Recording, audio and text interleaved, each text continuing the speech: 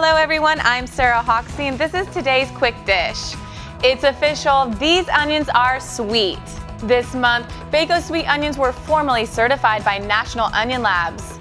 Bakersfield-based Country Sweet Produce provides both organic and conventional onions in the red, white, yellow, and Granix sweet varieties, and the company has recently introduced Petite certified sweet onions to their customers as well. Lauren Dees Mizelle, consumer products advocate for National Onion Labs, stated, When it comes to the consumer experience of sweetness, Country Sweet Produce believes that buyers shouldn't gamble. Their Bako Sweet brand onions are followed from the field to the shelf and tested for the flavor qualities consumers taste. The full results of the lab can be viewed online at www.onionlabs.com.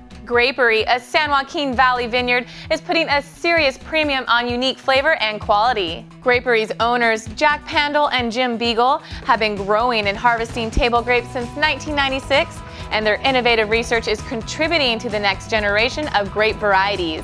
Grapery continues to grow classic flavors including the Crimson Seedless, Autumn Royal, and Red Globe.